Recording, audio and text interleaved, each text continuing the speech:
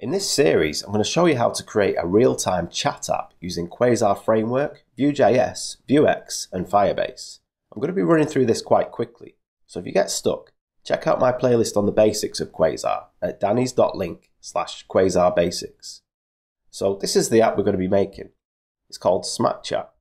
We're going to get this working for the web, as a desktop app, and as a mobile app. So this app has three different pages. First of all, we have the users page, which lists all the users that are on the platform. It also tells us whether the user is offline or online. So on this one, I'm logged in as Danny, and this one I'm logged in as Jim. So if I log Danny out and we look over here, you can see Danny's status changes to offline. And if Danny logs back in, we can see he's online again. And then we have the chat page. So if we click on a user, we can have a conversation together. So Danny's going to say to Jim, Hey Jim, why are you such a ball bag? We can see that message pop up on here. And Jim's going to say, No, you're the ball bag. And Danny says, I think you'll find that you are. So you can see all the messages are received in real time on all the different devices. Uh, we also have a authentication page if we log out. So on here we can register a new user with a name, email and password, or we can just log in an existing user. So let's get started with this. So if you don't have Quasar installed, you can jump over to Quasar .dev. Click on install and I'll tell you how to install that here. You do need to have Node installed as well. But assuming that's all installed, let's create a new project with the Quasar create command. So I'm going to jump to the terminal. I'm going to close this dev process. Go into my project folder and run Quasar create. Then the name of my project, I'm going to call it SmackChat. I'm going to choose yes to that because I already have a folder for this. Project name, I'll leave that as it is. Product name, I'm going to call it SmackChat. I'm going to leave the description, leave the author. Disable ESLint and enable Vuex. I'm going to set my Cordova ID to com.dannyconnell.smackchat. And I'm going to use npm to install it. Okay, that's installed now. It tells us how to get started. Just cd into the folder and then run quasar dev. So cd smackchat quasar dev. Okay, that's now running in the browser. Now I'm just going to open up this folder that it's created in my editor.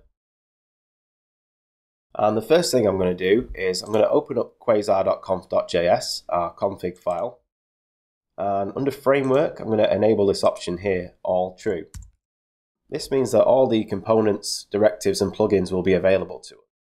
Now, you wouldn't want to do this in a production app. I'm just going to do this in the interest of speed so that I don't keep having to add components, directives, and plugins every time I use them. Okay, so I'm going to save that. Now, I'm just going to customize the theme a little bit. So I'm going to go to source, CSS, quasar.variables.style. And I'm going to replace the primary color here with this nice green color. Save that. Okay, that looks a bit more like a chat app now with that green.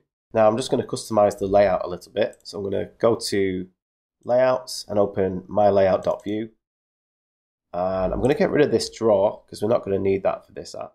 And I'll get rid of the button for the drawer as well. So first of all, I'll get rid of this menu button. Then I'm going to get rid of all of this Q drawer Save that.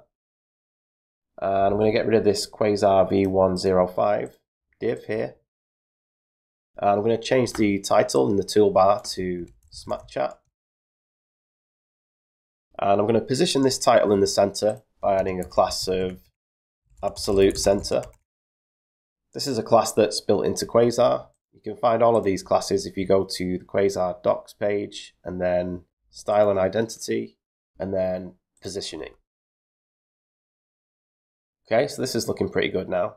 So let's set up some pages and routes for our app. So we're going to need three pages. We're going to need the users page, the chat page, and an auth page.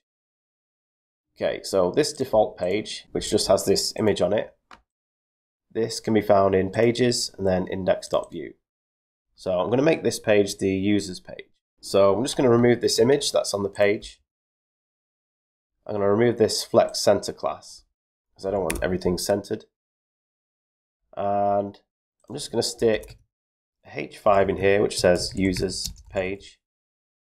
And for some reason, the style block is in the middle and should be at the bottom. So I'm going to move that down. And I'm going to get rid of this name property here because we don't need that. Save that.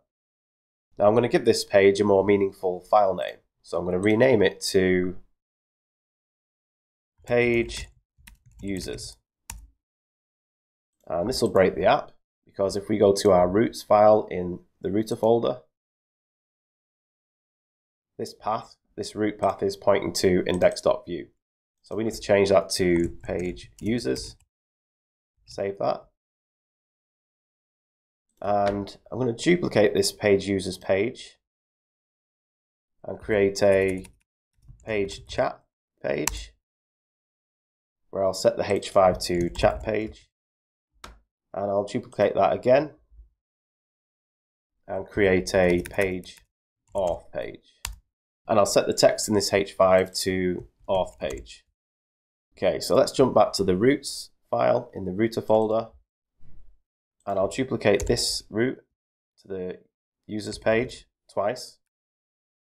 And we'll set up a route for the chat page at the path slash chat and this will be pointing to page chat.vue and I'll set up a route for the auth page at the path slash auth And this will be pointing to page auth.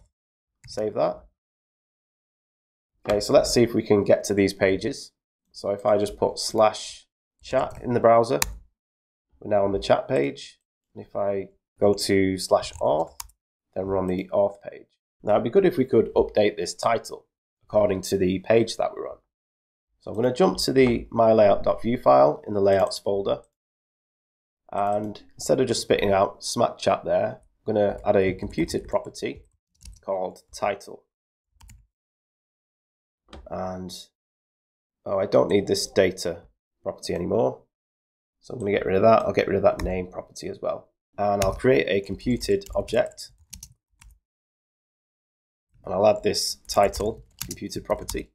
And we can set this title based on the current path that we're on. And we can get this path from the dollar route variable like this, this dot dollar route. So I'm just going to log this out, save that, and I'll open up the console, clear the console, and I'll reload. Okay, we can see this route variable being spit out. And within this object, we have a full path property, which gives us the current path that the user's on. So we can use this to determine what our title should be. So I'm going to stick that in a variable first.